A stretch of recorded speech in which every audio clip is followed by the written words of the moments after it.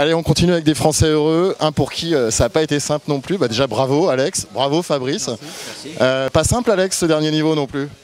Bah, le dernier niveau encore ça allait, mais c'est vrai qu'on a commencé la journée euh, short. euh, on a réussi à, à monter des jetons sans trop de showdown et c'était assez cool. Et, euh, et en fait, j'ai eu la chance de changer de table, de, re- de retourner au bouton à chaque fois, d'avoir des tours des orbites supplémentaires, etc. Et puis, euh, et puis voilà, donc ça s'est bien terminé, c'est cool et euh, on va essayer maintenant d'aller le plus loin possible. quoi. Qualifié sur un SAT à 1000 euros ici, je crois, si je me trompe pas? À 2000, ouais, 2000 euros. Et donc, ouais, bon, bah, pourquoi pas la belle histoire, on verra. Mais en tout cas, on kiffe. Et, et maintenant qu'on est ouais, c'est sûr qu'on va essayer de, de tout faire pour aller le plus loin possible. Quoi. C'est bien en plus avec Madame Quelin qui a déjà fait deux tables finales cette semaine, si je me trompe pas, voire trois peut-être. Non, elle, a deux- elle en a fait une et un ITM. Et euh, ouais, elle, était, elle, est, elle est contente de Monaco. Du coup, moi aussi. Et puis, bah, voilà, on va essayer que ça se finisse le- de la meilleure des façons possibles. Un autre homme heureux qui me disait c'est ma première item depuis 15 ans. Fabrice Soulier, bravo Fab. Merci. Merci, ouais, on a lutté, j'ai lutté, j'ai pas vu une main de la journée, donc je suis descendu, je me suis laissé descendre jusqu'à 90 000.